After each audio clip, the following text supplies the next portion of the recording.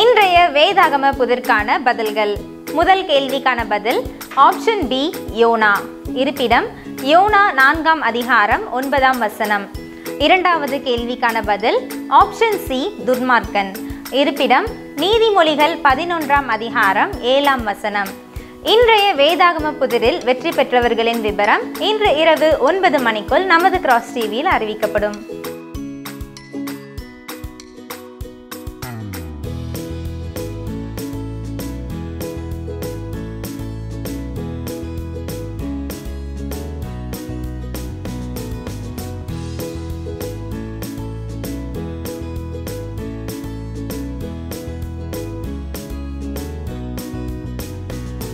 பரிசுகளை வழங்குவோர்? மகாராஜ் மசாலா. இது ஒரு தாய் வீட்டு சீதனம்.